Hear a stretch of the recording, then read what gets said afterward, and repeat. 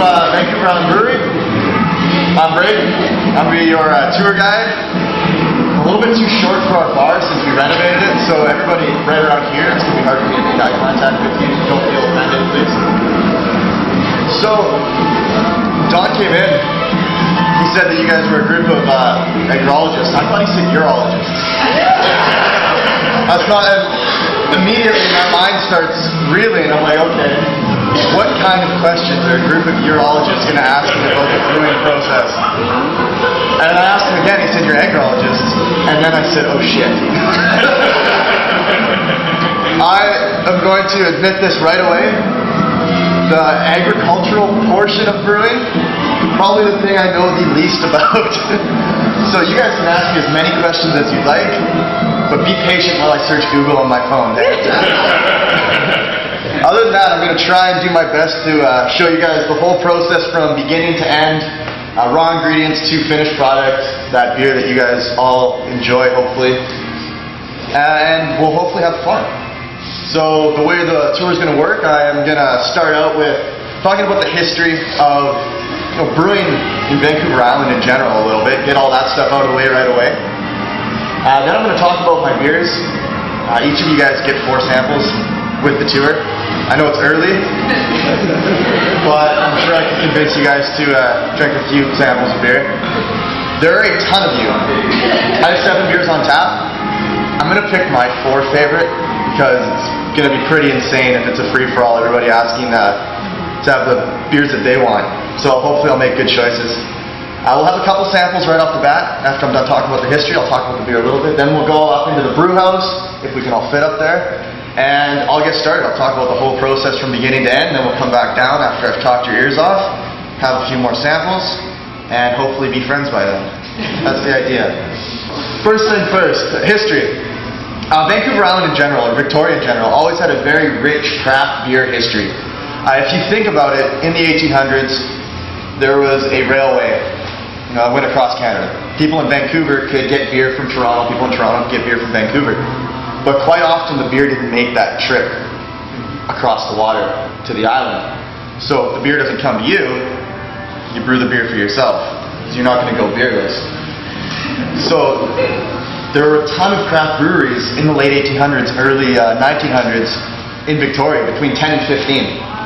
And uh, Prohibition hit. So Prohibition hits and you're a small independent company that makes alcohol one of two things happens. You either go out of business or you get bought up by the big companies.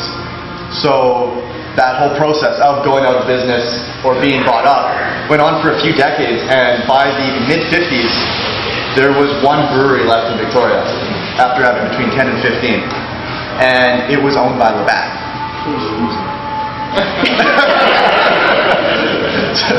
and they brewed there for a few decades, and then in 1982, they said, hey, let's cut costs, let's consolidate all of our brewing to the mainland. They closed down the brewery here and actually tore down half the building.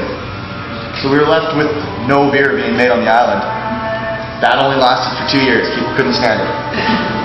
So a group of locals got together. They bought a farmhouse out in central Saanich, which is that direction for those of you who aren't from here, uh, and started brewing craft beer. That was the original Vancouver Island Brewery. Uh, craft beer is a term that's thrown around a lot these days. You hear it all over the place. You see craft beer sections in the liquor stores. Does anybody here really know what it means? Chris? Yeah. uh, if, if you look it up in the dictionary, it comes down to production, how much you make per year. But being a small, you know, locally owned independent company, there's more than just numbers. It's about a mentality. So the first thing that we wanted to do was make sure that we're making the best beer possible. So get the best ingredients, the freshest ingredients that we could. So we get all of our malts from the Canadian prairies.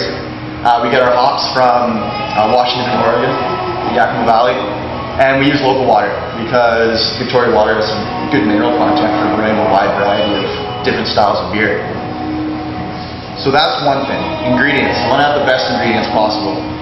Another thing, obviously, is passion. We brew beer because we like beer. It's not the most lucrative industry in the world. I don't get paid big bucks to stand here and talk about beer all day. I do it because I like to stand here and talk about beer all day.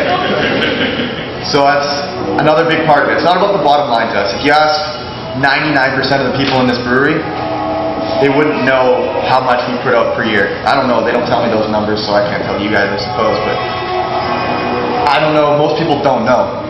Only the big managers do. So it's all about you know the passion, enjoying what we do, right? And finally, the probably the most overlooked aspect of craft beer, in my opinion, anyways, is education. So in North America, especially, we're kind of raised to think that there's one type of beer out there.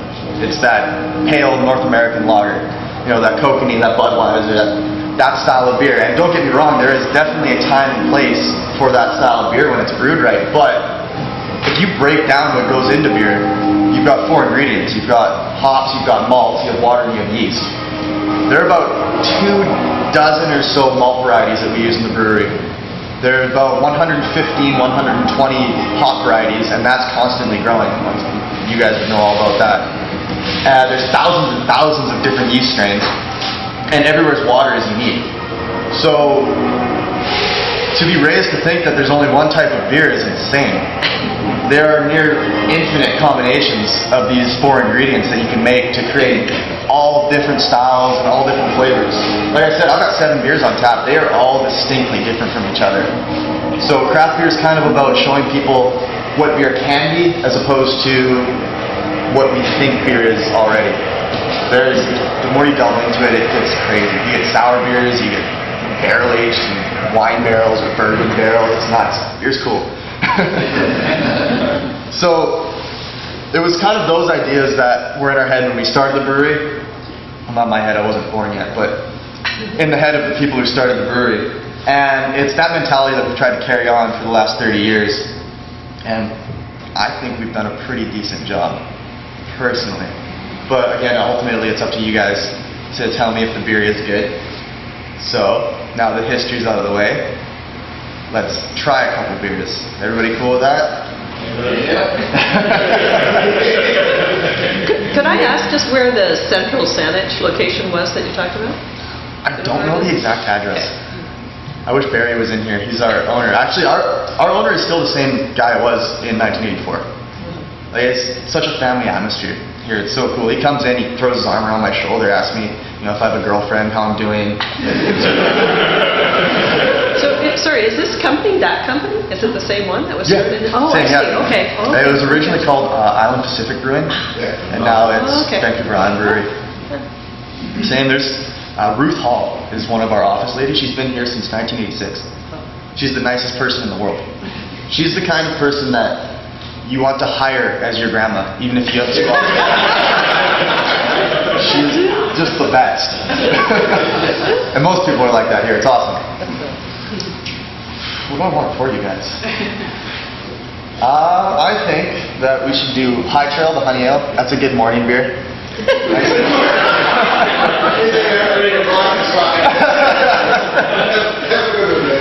Cheers, thanks, Don. Uh, Sea Dog because it's my favorite after work beer. It's my favorite. Uh, if I work a hard day, so not after today, I just talk about beer today. But if I work on the bottling line, I go home, I'm drinking a Sea Dog, so I'm going to pour that one.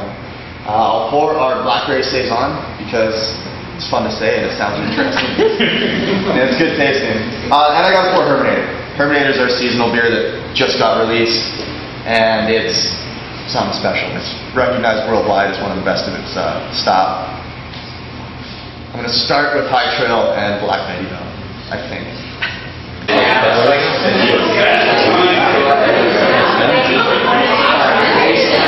In that sense, I'm not a beer drinker.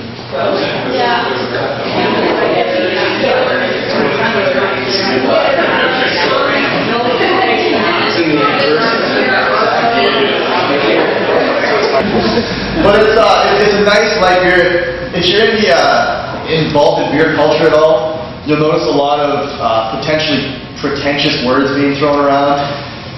Like any you know drink industry, Everybody likes to find those tasty notes like pencil shavings and shoe leather. Never have an eaten shoe. I'm serious. I've read Scotch reviews that say pencil shavings and shoe leather. It's insane. Yeah. Turpentine. No way. Turpentine. Iodine, turpentine. Yeah, it's, it's interesting. This guy, he tastes honey. it's got a nice subtle honey flavor though. I personally have a little bit of a beef with some honey beers in that they're really sweet, like almost cloyingly sweet. Ours is a little bit more dry, which is why I like it. It's uh, you know, throw one of those words out. It's very approachable. It's you hand somebody this beer and they're not a huge beer drinker.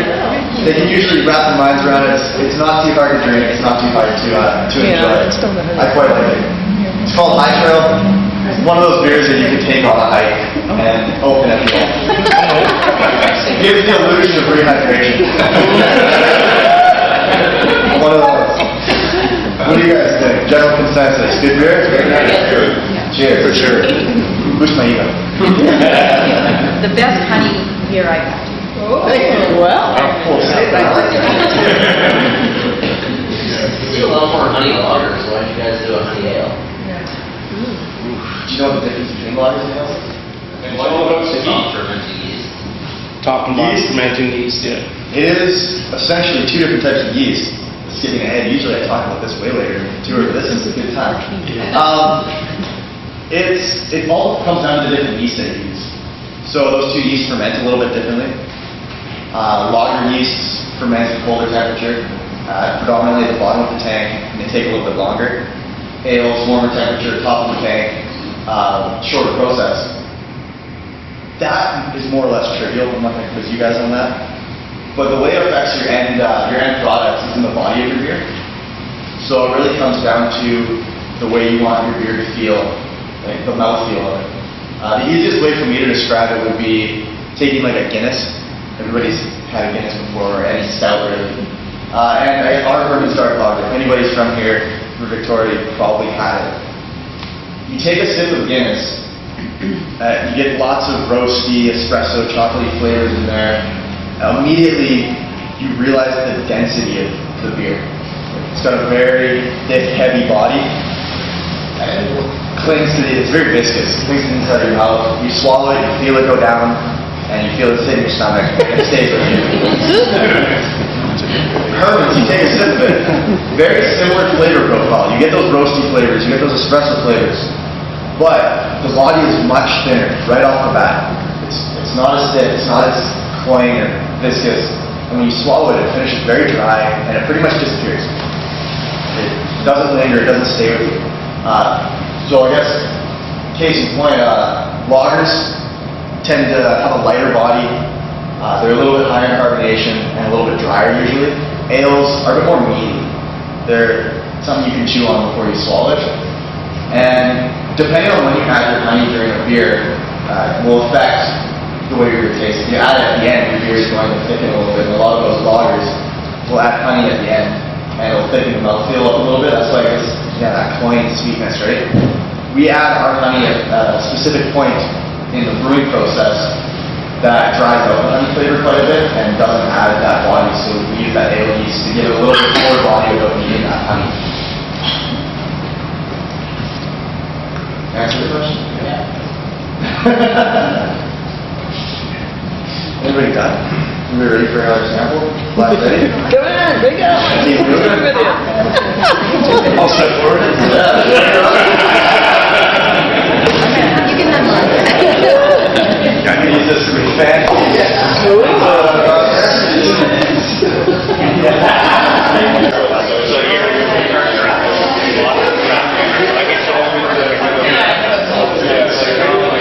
All right. So are there any uh, home brewers or anything in here? Any of you guys beer savvy? Sort of, right? Sort of? It's a question I like to ask because it lets me know the amount of leeway I have. Sometimes I'll get two people in on a tour, they've never done anything with their wine drinkers, they have no idea about beer. You know, say, okay, we get in this vat, we stomp on the wine grapes or the, the beer grapes. so if you guys are very savvy, then I have to tell the truth all the time. Uh, downstairs, I mentioned the four ingredients of beer. You've got your water, you've got your malts, you've got your hops, you've got your yeast. It's our job as a brewery to do two things with those ingredients. A, combine them to make beer, so give them alcohol. And B, make them taste good, so that you guys will drink them. The first step to that happens in here. This is called our mash tun. This is where we add the first two ingredients, our waters and our malts.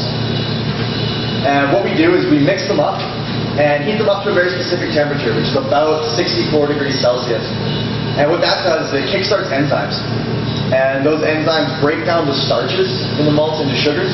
Those sugars will either be fermentable and give us alcohol, or be non-fermentable and give us sweet flavors to our beers. And the enzymes will also break down proteins, which will give us a bit of body and a bit of flavor to our beer as well. Uh, once we're done our mash, once we've got our sugars and our proteins are broken down, the next step is to separate the liquids from the solids. Because at this point, if you open it up when they're brewing, it looks like a really watery porridge mixture. And it probably tastes very similar. So we have to get those malts out, get that grain out. And that happens in the lauter tun here. There's some pipes and tubing underneath the uh, floor here, and we transfer everything into the next tank. Uh, this guy is really cool, so you guys want to do that single file drive-by here? It's pretty fun to look inside. It looks like a gigantic piece of farming equipment.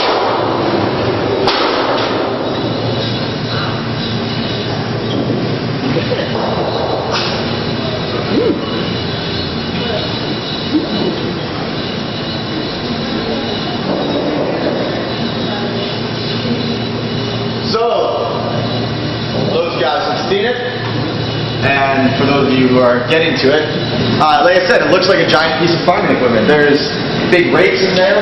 Those rakes spin around to keep everything from clumping up. Uh, and at the bottom of the tank, you'll notice a grate. So that grate is called a false bottom. And underneath that is the actual bottom of the tank. And it's a very, very basic filter that Germans have been using for centuries. And the way it works is you put your mash in here, that water and malt mixture, you mix it all up, you get those grate going, and the grate holds up the grain. The liquid filters down to the bottom, and we sparge the mash with hot water, so the water goes right from the very top down and picks up any remnant sugars or proteins that we may have missed that first go around. Once we're done filtering everything out, we're left with two things.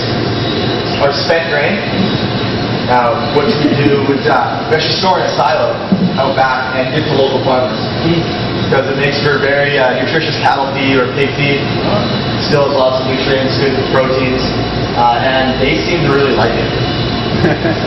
so it goes to uh, goes to them. There's tons of different uses for it. Some people make bread, uh, dog treats. The product of the cattle, which is very good. We use spent grain to raise them. I will attest to that. So that's where we uh, send it. And at the bottom of the tank, we have our wort. So wort is the name for beer before it's been fermented, or you add yeast to. If we wanted to, at this point, we could put yeast in there and ferment it. You would get alcohol because all you need is sugar and yeast. But your end product would taste very bad. Uh, basically, right now, it's just sugar water. So you would be fermenting sugar water. Your your end product would taste very sweet, like just putrid. Not very good at all. So we have to balance it out. When you talk about balance in beer, you talk about the sweetness of malts, that you have, versus the bitterness of hops. And that's what we need to add. That's our next step. So we transfer the liquid for our wort into this guy. It's called our boil kettle. And is where we add the hops. So we bring it up to a boil, and we literally just open that door and dump buckets of hops in. But we add them at very specific times. Because depending on when you add your hops, determines what the hop will give the beer. So early on in the brew, or early on in the boil, we'll do our first hop addition, we call it. Uh, those hops are going to be in there a lot longer, and what ends up happening is you boil off a lot of the aroma and flavor which comes from the oils, and you extract acid from the hops, and that acid gives your beer bitterness. So the early hop additions will give you that very distinct bitterness that you get from pale ales or IPAs. Later on in the boil, add hops again. Those hops aren't going to be in there as long, and you're not going to have enough time to get that acid out. and You're not going to boil off the oils. So those oils are going to give you the aroma and flavors that you get from a very well hopped beer. So uh, piney aromas, floral aromas, citrus aromas. Like I said, there's over 100 different varieties, and they all taste different. Uh, I know in New Zealand they actually you know, crossbred all these different strains and designed a hop to taste like Sauvignon Blanc. That's not it's, no joke. No, it's, it's interesting. I've actually had an IPA made with it, and it's really good. There's uh, Elysian, is a brewery down in Seattle. They make a, an IPA called so the Savant IPA. Sauvignon. It's really good. You ever see it in the stores? Pick it up. It's tasty. But yeah, there's all those flavors come from the late hop additions. That's very similar to steepy tea. If you oversteep your tea, your tea becomes bitter. Steep it right, you get all those aromas and flavors that you want, right? So it all comes down to how long it's in the boil. Once we're finished adding all our hops, once we're done our boil, our cooking process is more or less done. It's time to add yeast and get the fermentation going. But we still have a boiling hot liquid. If you add yeast to a boiling hot liquid, the yeast is going to die. Yeast is a living microorganism, it's part of the fungus family, and we need it to be very alive to actually ferment anything. So we have to cool this down. And the way we cool it down is with that guy, the wort cooler. There's a lot of you, so I'm not going to bother moseying all the way back over there. But uh, basically, it's like a radiator. So it's made up of a series of plates. There's two different types of plates in there. There's water plates and there's wort plates. And they're arranged in such a way that in one direction we pump cold water through the water plates. Other direction we pump hot wort through the wort plates. And they pretty much exchange temperature. So the cold water cools down the wort. The hot wort heats up the water to the point that we're actually ready to start our next mash. So we pump that water that we use straight into our hot water tank. And the wort gets cooled down enough for us to pitch yeast into it. It actually goes from over 100 degrees Celsius to below 20 degrees Celsius in about an hour. All the liquid in one of these tanks. So it's very space efficient, time efficient, and energy efficient. It's a really cool process. It's another part of craft brewing. You want to do your part energy wise. See, this guy's another way that we do it. It's our uh, it's our condenser. So we try to collect as much water as we can from our boil by condensing the steam, cycling it back into our system. It's all fun stuff. And now our wort is cooled down enough for us to start the fermentation process. Picture our yeast. Let the, the magic happen. And that happens down the hallway. Could I just ask how long it's taken, this process? This process in here is about six to nine hours with the actual time in the tanks and then the time transferring. So, yeah, this is this is the shit. Into, into the uh, into the fermenter is about six to nine hours. It's so high. Math is really hard to do in my head the.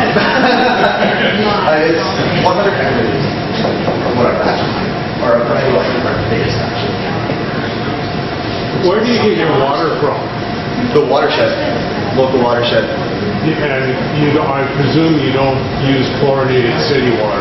We filter it all out. We filter our, uh, our water very heavily. And So you, you take city water and then filter out. and remove all the uh, treatment, yeah. All right. Nice and cozy in here. So, behind me is our cellar. So that's where our fermentation tanks are. That's where we actually turn the wort into beer. This is normally where I bring up lagers and ales, but we've already covered that. So you guys know that it's two different types of yeast. And basically here, it means that our first job is to set that temperature because the lager needs a colder temperature, ale needs a warmer temperature. So we get our wort in these tanks, we set the temperature, and we pitch our yeast. First thing the yeast does is reproduce. So if you see those pictures of those big beer vats with all the foam on top, that's that yeast colony growing. And the colony is going to grow about four to six times in size right off the bat before any fermentation happens. Once it's done all that reproduction, it starts eating up those sugars that we got from the malts.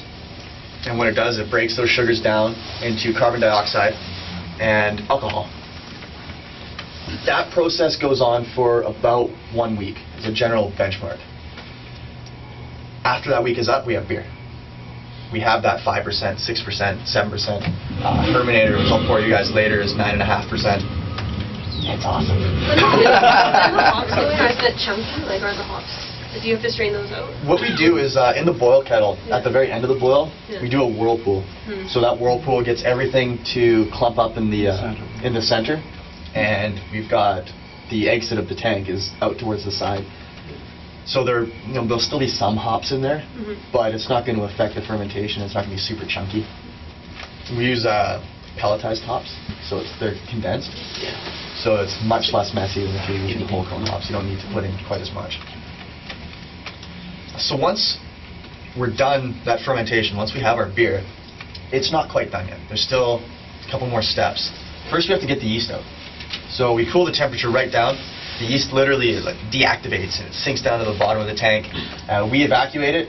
We actually save some because much like a sourdough yeast, you can reuse your brewer's yeast for multiple batches. Uh, because, like I said, it reproduces. So what we do is we try to save that new generation. It ferments, it reproduces, save that new generation. So you keep using the next generation. Uh, we use our yeast for about 13 batches. Uh, some breweries use it up to 30 batches. I know I was talking to a brewmaster of a really small brewery in Ontario, and he said they use it until it tastes weird. It gets the weird batch. What type of, like in the health food store? yeah, that kind of stuff. I don't know if it's post or free, but uh, it's basically that strain of yeast. Because there's so many different types of yeast that that type of yeast is brewer's yeast. So it's the yeast that could be used to ferment. Although when you buy it in the health food store, I don't know if it's been used in a batch or not yet. Or could be. That's right. Just use it It is healthy though. protein source. Do you guys like uh, you know wheat beers unfiltered usually? Brewer's yeast is high in vitamin B. So I'd much rather buy it in my beer than buy it in the health food store. Just saying, exactly. so like I said, we use it for about 13 brews. We cut the cord at that 14th batch for a couple reasons. Uh, if we did want to keep using that colony of yeast, we could. It would still ferment. But the problems you run into pose threats that we don't want to deal with, more or less. So, with dealing with multiple generations, you deal with 13 generations, you're going to deal with some mutation. Mm-hmm. So, you're not having the same yeast strain that you originally had. And the threat that that poses is actually yeast infection. So, a brewery itself can get a yeast infection. yeah. Whoa. And it's not fun. It is like. Speak from experience. Talk amongst yourselves.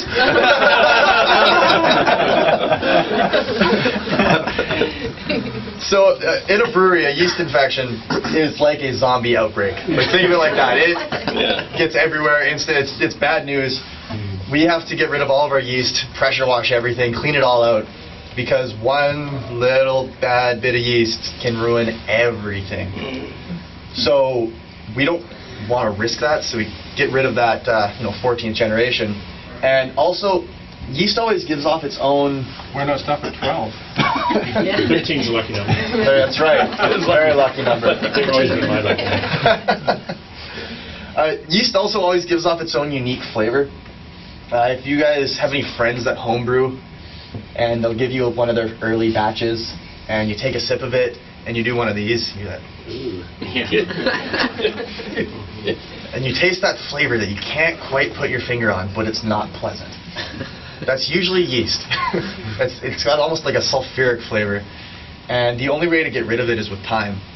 But the older that colony is, the more prominent that flavor will become, and it's not pleasant. You don't want it. So that's the other reason that we cut that cord. Once we've saved some of our yeast, we've got our yeast out, the next step is to condition the beer. So we condition it for a couple reasons. A, to get that yeasty flavor out of there. So with time it will dissipate. And uh, B, to get the alcohol to kind of mellow out, take a back seat, and allow the flavors of the hops and the malts to come forward the way that we want them to. Much like you would age any spirits, a whiskey or a rum or anything like that. You want that alcohol to mellow out. And you want all those flavors that you really want the beer to have to come It's forward. It's a shorter timeline though for beers. Yeah. You know, Oh yeah, very much, very much so. It doesn't have the uh, beer doesn't have the alcohol content to really remain stable for aging it over long periods of time. Like a, a spirit is forty percent. It's it ages well, but beer, you know, around five or six percent. You don't want to age it for very long. Our uh, we'll age our lagers for about four weeks after fermentation. Our ales for about three weeks after fermentation. Uh, Hermannators we age for three and a half months. That guy's actually cool because we age it for three and a half months and we age it at uh, freezing temperatures. So what it does, is it freezes the water off, concentrates the alcohol, and concentrates the beer. So what you're left with is a nine and a half percent thick, heavy lager that's aged long enough that it tastes like it's about six percent. And you buy a six pack of it. You don't look at the alcohol content. You sit down, you drink two of them. You stand up and you do like, why do I feel like this? You drank four beers in the time you normally drink two beers, and at the brewery we call that getting herminated. You've all done it. I have my stories. But it's a good beer. It's, It's a cool. good beer. It's a great. Now, I'm gonna pour it for you guys. It's gonna be the last beer I pour for you. All right. I was just gonna ask, just going, going back, we talked about using the 13 to 30 strains like over again, or yeah, using it over again. So certain breweries will do that. So is there are there issues in the brewery world around that in terms of the quality that you're you're giving out to the consumer? So you know, uh, like at some point, is there is there an issue with that and in terms of quality control? Well, that's that's the main issue that we have. Like it, it, that infection with the brewery does affect our quality.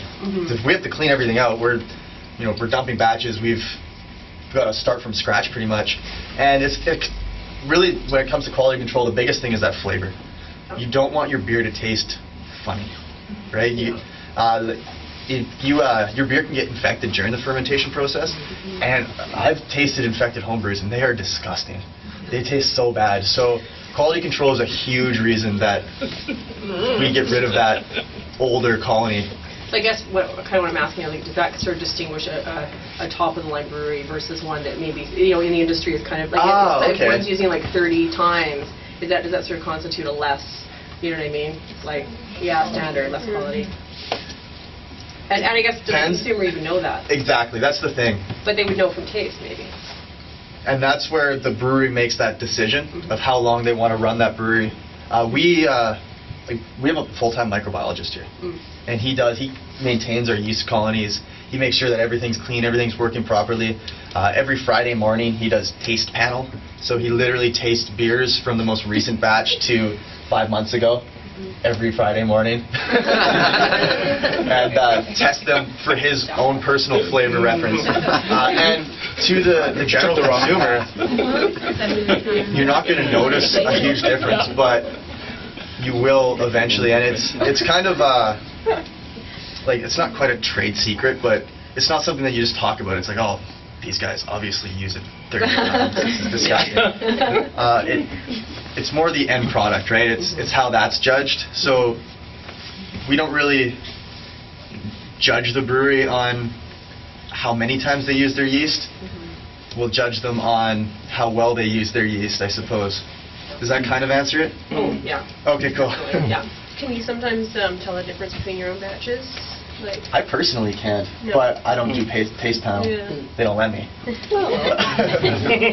I heard a rumor uh, that uh, Labatt's and the bigger companies can turn out a batch of beer in two days in the summer. I uh, Tastes like it too. Yeah.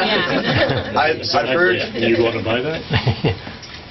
I know a guy who used to work for Labatt's, and at nine days is what I've heard. So, and that's a lager. So, like I said, lagers take longer. Fully finished from brew to bottle in nine days. And I personally don't know what they do to it. All I know is that we do it naturally. Enough said. Chemical beer. Yeah. Yeah. Chemical maturation. Are these vats pressurized? Um, or do you let the carbon dioxide bleed off and then, They are pressurized, but if it hits a certain uh, like psi, then Right. there are valves that will let the pressure release. and is that how you carbonate your beer, or do you add carbon dioxide later, Uh, we add a little bit later, right? uh, like uh, in a homebrew.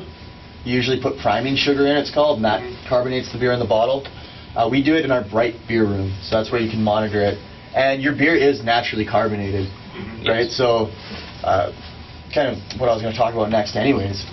Um, once we're done conditioning, the beer in these tanks is the best beer going. Not necessarily our tank specifically, but any brewery that's worth their salt, the beer right off the fermentation tanks is the best. There are taps at the bottom of all these tanks. you go in there and you can pour yourself a pint. Not allowed to, but you can. Uh, and I'll testify that it's definitely got a level of carbonation straight off the tank. You don't need to add a whole lot. It's that yeast. Yeast is amazing. It does so many cool natural things, and it people didn't even know what yeast to be. People used to think it was the gods. like they they'd put bread in water and leave it out, and it would start fermentation because there's yeast everywhere. There's yeast all around us right now, and it would just wildly ferment. Finish the batch, do it again. The yeast that's left on the inside of the vat would start the fermentation process over. Sourdough. Yeah, exactly. It's pretty cool. So what's the main difference between a really hoppy tasting beer and a not hoppy beer in the sense of is it actually amount of hops going in? Yeah, it's um. I mean, nowadays we can analyze everything that to do with all of our ingredients. Um, like when I heard that you guys were agrologists, I went straight to Google. I, I, I had that. Oh shit! Oh shit! Oh shit! Oh shit! Trying to search everything that I could, and you can I mean, you can break down everything, and the hoppiness of a beer comes down to a lot of different things, like a how much hops you use. Uh, like I said, the acid in the hops is what gives it the bitterness. How fresh it is. How fresh so it is, the, the cooking time of the hops. cooking time of the hops, Yeah. and the acid amount. Okay. So there are certain hop strains that have very high alpha acids, and we'll use those early in the boil specifically just for bittering. So it comes down to how long you cook, how much you put in, and what type of hop you're using because Mhm. they all have different uh, acid contents. Hmm. Our general manager has a really great poster in his office that actually breaks down all of the hop strains into the acid content that they have and uh, the different essential oils that they have. You pretty much read that and know what your hop will taste like before you even use it in a beer. It's really interesting. So all the hops have to be analyzed before you, you actually buy them or bring them here? They are analyzed, but it's um, that's more of like it's not you know so much batch specific as strain specific. So they're analyzed once they find this new strain of hops, and then that Wouldn't acid it depend content. though on, On the- what the growing season was like and It would. Uh, I don't know how much it would depend, but like the, you say that poster and what have you. Those are the general guidelines, like that. It'll go maybe a little bit in one direction or a little bit in the other direction, depending on the year. But it's kind of that general idea of what the hop will be like and it's mature. consistently. Yeah, yeah. Maybe I missed it, but did you mentioned where you source your hops. Is there enough local supply? There is no commercial hop farming in Hmm. British Columbia. Oh. Yeah, what happened to the hops industry? Because it was quite large in the Fraser Valley back in the 80s. Diseases? Yeah, it's because we have such a uh, like a very muggy, moist climate. Hops are you use the hop cone, and it's very hard to maintain. Uh, like mold will grow on your crops and what have you. Uh, so I guess the hop industry fizzled off. I wasn't around to to see it when it was actually around, which sucks because I wish that there was hops in BC. You can make or grow good hops in British Columbia, but they're very hard to maintain. So I guess nobody's been willing to put the effort back into having a This is a multi-year. it is. We have a we have three little hop plants actually growing outside just for aesthetics because they look cool. And there are lots of home brewers that will grow their own hops here. Uh, I know Salt Spring Island grows their own hops on their estate, That does have a but for the most part, the hops are sourced from the Yakima Valley. That's where they have they grow the best hops, and that's where we get our hops. that was the brewery. Quarter to 12, by the way. Oh, whoa. yeah, there is. Just having too much fun. And this is this is always where the like the bottleneck of the tour. Is Where we just start talking about random different things and recapping everything. Uh, but yeah, let's move on. All right. So, like I said, There are taps at the bottom of these. We could pour beers out them. Do it. But that's no way to run a business. I had a guy on a tour one time who, who said that, yeah, running a business at the bottom of your fermentation tanks is like running a dairy farm at the udders of the cow. it just doesn't work very well. so, just like milk, we have to bottle our beer. And the first step to bottling is filtration. Uh, it's not the most exciting process in the world, filtering. We do it for a couple reasons. Mainly because we don't pasteurize.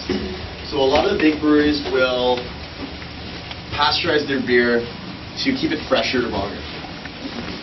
But pasteurization is heating something up to the point that everything inside it dies, and we like to think that that negatively affects the flavor. So to avoid pasteurization and still keep our beer as fresh as we can for as long as we can, we filter it out. You remove all the variables in your beer, you know that every batch you produce is the same, and you know exactly how long that batch is going to stay fresh for, which is about five months. If you guys you know, see a six pack, all of our cases are labeled with the packaged on date. If you guys see a six pack older than uh, five months, you guys aren't buying our beer fast enough. and look for something fresher because it'll probably taste better. But over time, certain compounds will break down, new compounds will form in your beer, and the flavors will change. And like I said, because the alcohol content isn't very high in beer, that flavor change is usually negative as opposed to positive. Hermannator you can actually age. One time, uh, like my favorite example, we send our beers to the World Beer Championships quite a bit, and one year we sent a one-year-old Hermannator, and it won a gold medal. Next year we sent a fresh one, it won a silver medal. Which is kind of funny. Yeah. But yeah, that one you can age. Once you get into those wine alcohol percentages, you know, 9, 10, 11, 12, but usually you don't want to drink. Beer is best fresh. Fresh is best. And we filter it to keep it fresh for longer for you guys. Uh, once we're done filtering it, it goes to the bright beer room. A lot of people ask why it's called the bright beer room. That's just another name for fresh beer, uh, green beer, new beer. It's bright beer. And that's where we will monitor the carbonation, add carbonation if need be. And then that's where we send the beer to the bottling line. And that happens through here in the warehouse. Looks bright in there. Lights are on.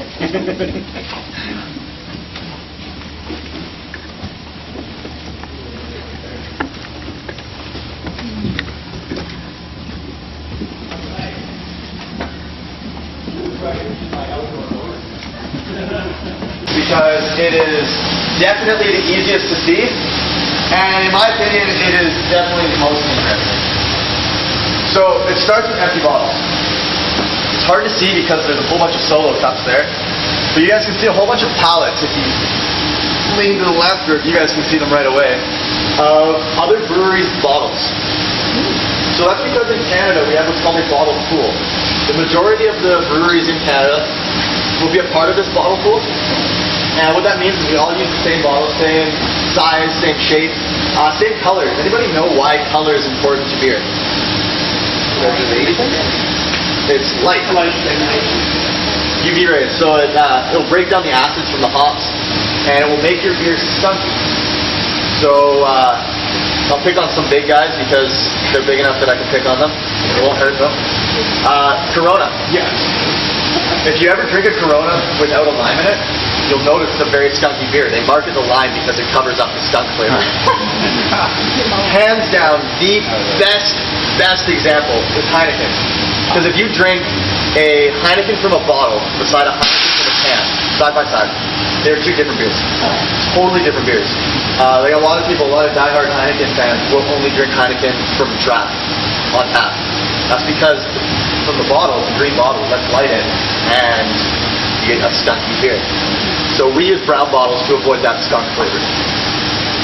And the way it works, you guys buy your six pack, you drink your six pack, you bring it to the recycling depot, they redistribute it to us, and we use the bottle. Each bottle will be used about 10 to 15 times, as long as you guys don't you know, break them or we don't break them. Uh, interesting fact, my sister's a, uh, she's a hippie type. Very, very, very environmentally conscious and engaged and everything. And she always tells me all these facts, which is great. I like to learn them. And she was saying that in the States, where they don't have uh, anything like this in place, enough glass bottles are thrown every month to fill the Sears Tower eight times over. Which is insane. So this is kind of our way of cutting that number down.